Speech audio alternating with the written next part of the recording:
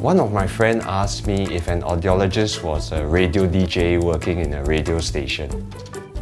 Often they mistaken us as an audio technician. 你们卖 HiFi 的、啊？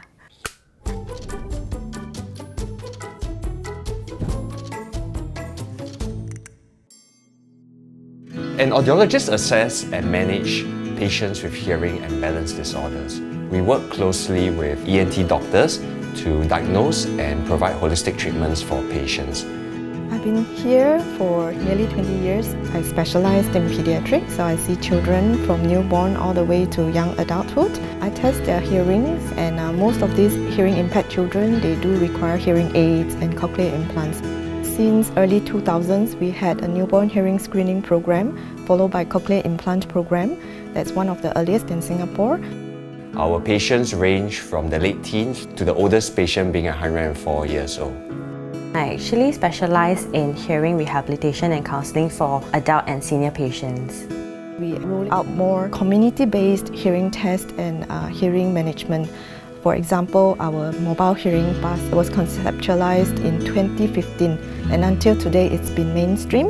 It's been great providing hearing care services not only just within the tertiary hospitals but also at the community level.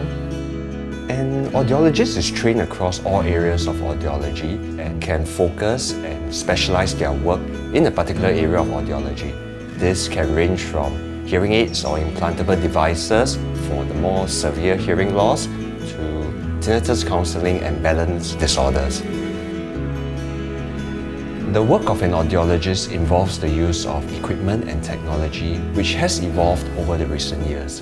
Audiologists have the opportunity to attend regular in-house courses and manufacturer product trainings to stay relevant with clinical practices and patient care. We work together with other disciplines, such as the doctor side and other allied health profession, in order to improve the rehabilitation process of the patient and ultimately improve the patient quality of life. We do have conferences, we do run journal clubs to make sure that the audiologists are up to date on evidence-based practice to provide the best patient care.